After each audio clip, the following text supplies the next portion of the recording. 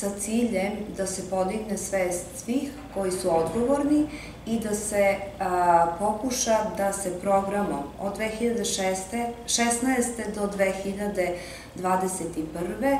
smanji broj obolelih i smanji broj smrtnih slučajeva u, sveti, u svetu uopšte, ali i do 2030. godine eliminiše hepatitis, a, misli se na B i C hepatitis prvenstveno, pošto ih ima i tip A i tip a, C, ovaj, D i E, koji su uglavnom A i E su crevne, kao crevne fekalno-oralne, misli se uglavnom na ove hepatite koji se krvno prenose, odnosno krvno prenosive bolesti i seksualno prenosive. Virus se nalazi kod tipa B i C uglavnom u krvi i u svim telesnim tečnostima, najviše u semenim i vaginalnim tečnostima, može se preneti i seksualnim putem.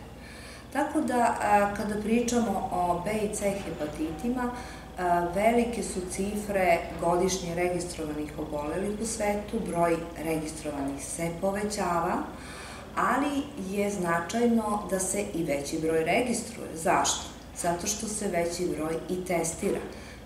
Od 2008.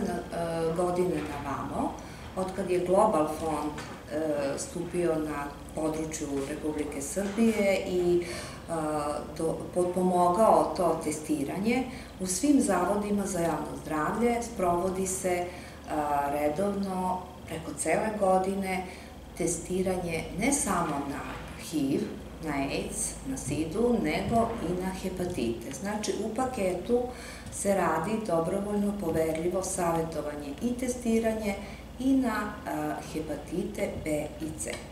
To je značajno zato što su bolesti koje mogu dovesti do komplikacija, da ne bi došlo do hronične bolesti ili ako se već otkrije hronično nosilaštvo virusa, da ne bi došlo do razvoja ciroze i hepatocelularnog karcinoma koji su odgovorni za smrtne slučaje.